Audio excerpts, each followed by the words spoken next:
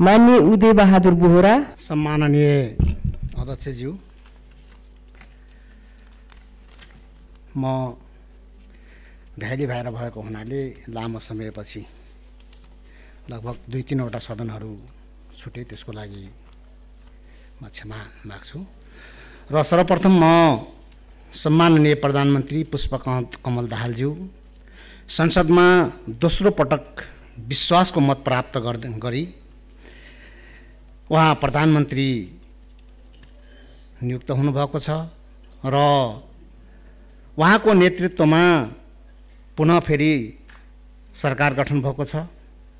र म सम्माननीय प्रधानमन्त्रीज्यू लगायत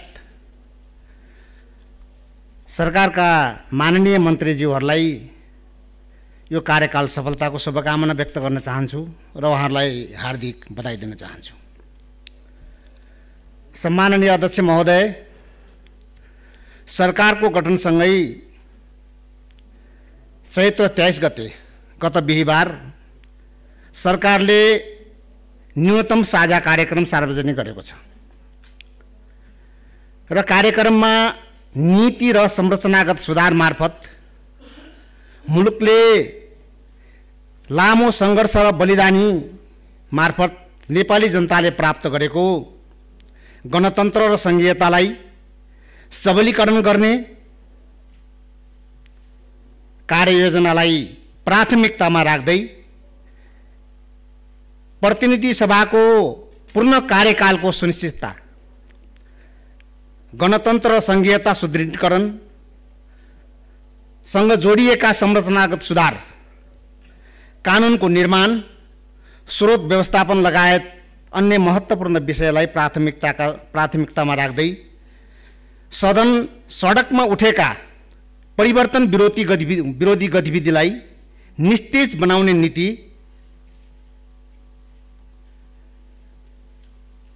अघि सारेको छ।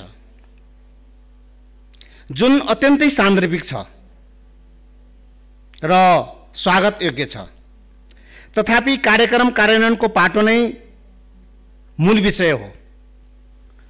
प्रस्तुत न्यूनतम साझा कार्यक्रमले मुलुकमा देखिएका आर्थिक मन्दी मौलाउँदो भ्रष्टाचार र बढ्दो नेपाली युवाहरूको बेरोजगारीको समस्या आकाशिएको महँगी र विशेष गरेर नेपाली किसान जो अब खेतीपातीको समय पनि आउन थाल्यो र उनले समयमै प्राप्त गर्नुपर्ने मलबिउ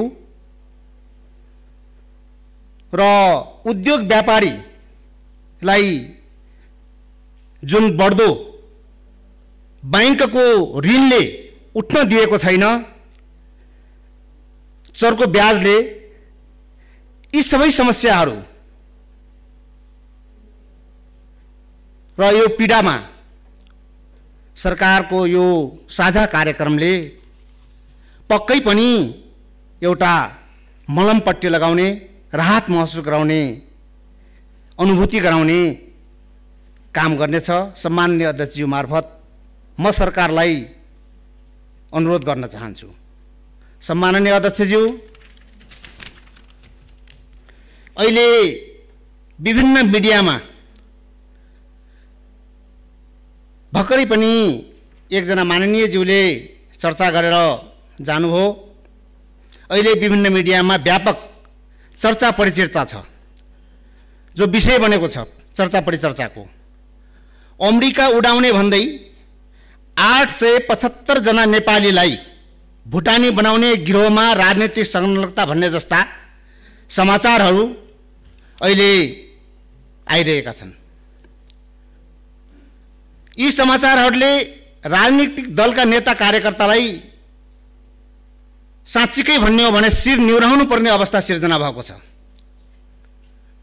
यो सेलाउन नपाउँदै अर्को दुई करोडको आइरहेको छ।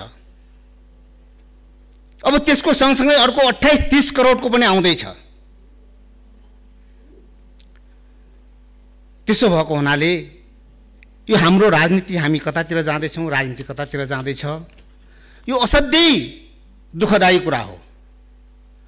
यसमा जुन आठ सय पचहत्तरजनालाई जुन भुटानी बनाएर अमेरिका पठाउने जसबाट दस लाखदेखि पचास लाख रुपियाँ असुल्ने र केही असुलिएको र जसमा ती नेपालीहरूलाई केहीलाई रिफ्युजीको तपाईँको आइडेन्टिटी कार्ड पनि दिइसकिएको।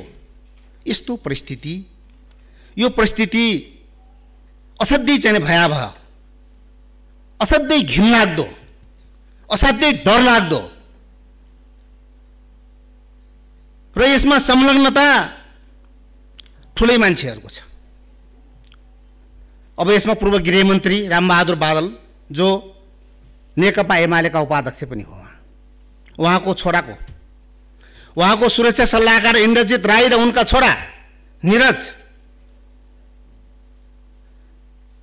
एमालेको सचिव जो हुनुहुन्छ पूर्व मन्त्री हुनुहुन्छ हाल प्रतिनिधि सभाका सदस्य माननीय टोपबहादुर रायमाझीका छोरा सन्दीप रायमाझी। र यसमा पूर्व उप प्रधानमन्त्री नेपाली काङ्ग्रेसकी नेत्री सुजाता कोइराला जुन हुने समयमा जतिखेर उहाँको निजी सहायकको रूपमा काम गरिसकेका केशव प्रसाद दुलाल।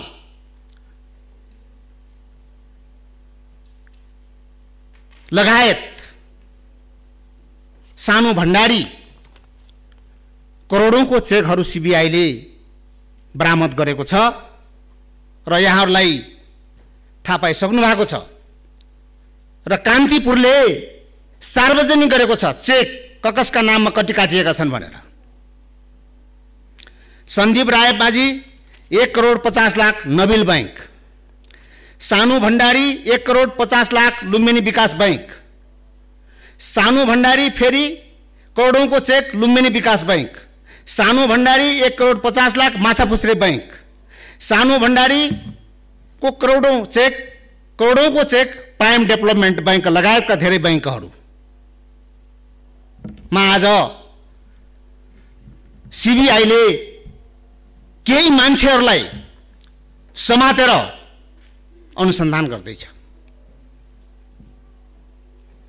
र यस्तो कार्यमा जुन संलग्न गिरोहलाई दुःखका साथ भन्नुपर्छ। माननीय टोप बहादुर रायमाझीको सहयोग रहेको प्रष्ट रूपमा उहाँको आफ्नै अभिव्यक्तिबाट बाहिर आएको छ। कि उहाँ अन्जानवश मैले सहयोग गरेँ भनेर भन्नुहुन्छ? उहाँको अभिव्यक्ति। त्यो लेभलमा बस्ने मान्छेले त्यो लेभलको लिडरले यस्तो गैर जिम्मेवारपूर्ण कुरा यो कुतर्क गर्न मिल्छ कि मिल्दैन?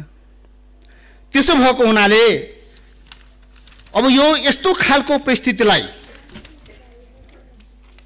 म के निवेदन गर्न चाहन्छु भने यो जोसुकै होस् जोसुकै पार्टीको होस् जोसुकै समुदायको होस् जोसुकै जातको होस् जोसुकै लिङ्गको होस् जो वर्णको होस् जोसुकै पदको होस् यसलाई सशक्त कारवाही गर्नुपर्छ। मेरो अनुरोध छ। सामान्य अध्यक्ष महोदय म तपाईँ मार्फत अध्यक्षज्यू मार्फत सम्बन्धित निकायलाई को म ध्यान आकर्षण गराउन चाहन्छु। र कारवाही होस्। यो अख्तियारले कारवाही गरोस् अथवा सिबिआईले कारवाही गरोस् सरकारले कारवाही गरोस् कारवाही हुनुपर्छ। यो वा त्यो बाहनाबाट कारवाहीले उन्मुक्ति पाउनुहुन्न। मतलब अपराधीले उन्मुक्ति पाउनु हुँदैन। त्यसको सँगसँगै अब अर्को यो हिजो छब्बिस गते मात्र राष्ट्रिय स्वतन्त्र पार्टीले अघि मान्यज्यूले पनि भनेर जानुभएको छ। सांसद ढाका प्रसाद श्रेष्ठलाई त्यहाँ त निलम्बन पनि गरिसक्यो। बहत्तर घन्टाभित्र छानबिन गर्ने भन्ने रवि लामे छानेले आफ्नो अभिव्यक्त पनि चाहिँ दिइसके। र दुर्गा प्रसाईबाट दुई करोड स्वास्थ्य मन्त्री बन्नको लागि। र त्यो स्वास्थ्य मन्त्री बने बापत दुर्गा प्रसाईलाई एलवाई लेटर दिने। Letter of intent. त्यो त शिक्षा मन्त्रालयले दिने हो। त्यति पनि थाहा रहन्छ बिचरालाई। स्वास्थ्य मन्त्रालयले त एलवाई लेटर दिन सक्दैन। अब दुर्गा प्रसाईजीलाई मेडिकल कलेज चाहिएको छ। अब यो यो भिडियो क्लिप कतिपय यो झुट्टा हो भन्ने कुराहरू पनि आइराखेका छ। मलाई त लाग्दैन त्यो झुट्टा हो भन्ने कुरा। यदि त्यो झुट्टा हो भने दुर्गा प्रसादलाई कारवाही गर्न पर्यो यसको लागि पनि सरकारले तुरुन्तै छानबिन गरोस्। यस्ता खालका अपराध अप- त्यो अपराधिक गतिविधिहरू एकपछि अर्को मौलाउँदै जाने हो भने यो मुलुकमा के हुन्छ दुर्दशा? अहिले पनि हामी सबैलाई थाहा छ मैले अघि नै यहाँहरूलाई निवेदन गरिसकेँ। सदनभित्र सडकमा आज जुन एउटा प्रतिगामी शक्ति जसलाई हामी भन्छौँ त्यो सलबलाइरहेको अवस्था हो। त्यसो भएको हुनाले त्यसलाई सहजै त्यति सजिलै किनारा लगाउन सकिँदैन र लोकतन्त्र लोकतान्त्रिक गणतन्त्रको त्यत्तिकै सजिलै संरक्षण गर्न सकिन्न। समयमा म सरकारलाई फेरि पनि चाहिँ सचेत गराउन चाहन्छु र यी सबै अपराधीहरूलाई कारवाही गरियोस्। यति भन्दै म बिदा हुन्छु। धन्यवाद। सत्य तथ्य निष्पक्ष अनि खोजमूलक समाचारको साथमा एभरेस्ट न्युज।